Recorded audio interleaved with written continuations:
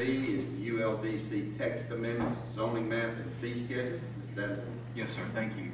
Um, If you wouldn't mind, if you would just please turn your agenda item to the very next page after the cover sheet, the approved summary document. And I just wanted to start there, because back in June, um, the county commission approved these amendments uh, with the last text amendment. Remember, we went through some notice and debate and ultimately had this slate of amendments approved. When we did that, um, we had since a conversation with the county attorney, and he had two recommendations for us concerning text amendments.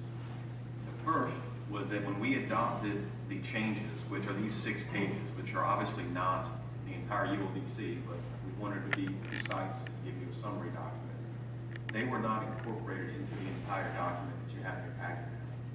So we approved kind of a summary of changes. His first recommendation was that when we approve these changes, we don't do it just as a summary, we do it as the entire code. So we have to incorporate it into the entire ULDC, not just the summary. So we noted that, we try to honor that, which is the main reason why we're here, is to try to incorporate those changes into the, into the document as it stands, and have a full version for your consideration. So that's the main reason why we're here. The other recommendation was that when we adopt text amendments, we adopt the zoning map the day of the commission. And so what that means is normally we would print the map that we had for, you know, a time, days, weeks before the county commission meeting. We would adopt that map the day of the commission meeting. And the second recommendation was that we would adopt map that is printed that day. So you have a draft map, and we've practiced on the planning commission to try to run through our scheme within one day. We think we can do that. Um, But that way, the date of your consideration is the same date the map is actually officially prepared. Um, We're working towards both of those goals. That's the main reason why we're here, is to bring this back up, try to honor those recommendations. I know, um, one of the things you'd probably like me to say is that these text amendments are the exact same thing that you adopted uh, over the summer. Uh, But they're not exactly the same thing.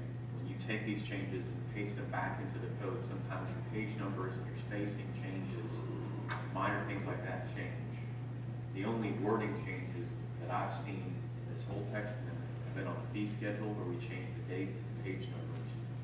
And then on the map, we changed the dates the actual uh, map to read September 9th rather than the June date that we had back in the original maps. So I offer all that just because I want to be very clear.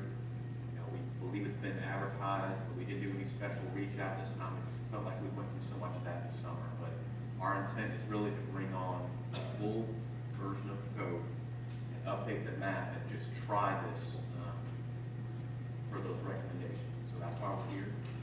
Try to address any questions that you have. Planning Commission has been through staff, um, received both recommendations of approval.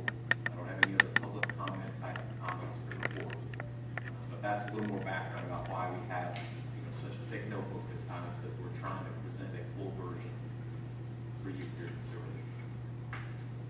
any questions, Mr. Davis? Hearing none, we'll move on to agenda item seven